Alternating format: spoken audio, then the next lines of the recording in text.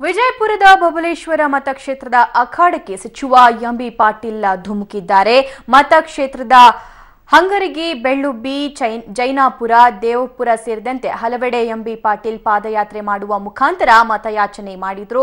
ಆ ದೃಶ್ಯಾವಳಿಗಳು ಕೂಡ ನೋಡ್ತಾ ಇದ್ದೀರಾ. ಇದೇ ವೇಳೆ ಮಾತನಾಡಿದ ಎಂಬಿ ಪಾಟೀಲ್, ನನ್ನ ಮತಕ್ಷೇತ್ರದಲ್ಲಿ ತೊಂಬತ್ತು ಪರ್ಸೆಂಟ್ ಎಲ್ಲಾ ಕೆಲಸಗಳನ್ನ ಮಾಡಿದ್ದೇನೆ. ಜನರು ಈ ಬಾರಿ ನನ್ನ ಅಭಿವೃದ್ಧಿ ಕೆಲಸಗಳಿಗೆ ಮತ ನೀಡ್ತಾರಂತ ವಿಶ್ವಾಸ ವ್ಯಕ್ತಪಡಿಸಿದ್ದಾರೆ. ಇನ್ನು ನೀರಾವರಿ ಯೋಜನೆಯಲ್ಲಿ ಎಲ್ಲ ಕೆಲಸಗಳು ಪೂರ್ಣಗೊಂಡಿವೆ. ನನ್ನ ಅಭಿವೃದ್ಧಿ ನನ್ನ ಕೈ ಹಿಡಿಯಲಿದೆ ಅಂತ ಹೇಳಿದ್ದಾರೆ.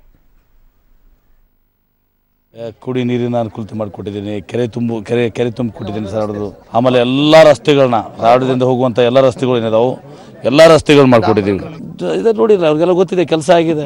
ಯಾವುದೇ ಎಂಟಿ ಇನ್ಕಮ್ ಅನ್ಸಿ ನನಗಿಲ್ಲ ಇಲ್ಲಿ. ಏನಪ್ಪ ನೀವು ಬಂದಾಗಿ ಕೆಲಸ ಮಾಡಲ್ಲ ಆ ಕೆಲಸ ಮಾಡಲ್ಲ ನೈಂಟಿ ಪರ್ಸೆಂಟ್ ಕೆಲಸ ಮೇಜರ್ ಕೆಲಸ ಮುಗಿದ್ರೆ ಸಣ್ಣ ಪುಟ್ಟ ಏನಾರು ಇರ್ತಾವೆ ಒಂದೊಂದು ಕಡೆ. ನಮ್ಮ ಓಣ್ಯಾಗ ಒಂದೆರಡು ಕಡೆ ಹೇಳಿದ್ರೆ ಆಗಲೇ ಒಂದೆರಡು ಕಂಕ್ರೀಟ್ ರಸ್ತೆ ಸರ್, ಒಂದೆರಡು ಓಣ್ಯಾಗ ಆಗಿಲ್ಲ ಒಂದೆರಡು ಇಂಥವು ಇರುವಂಥದ್ದು.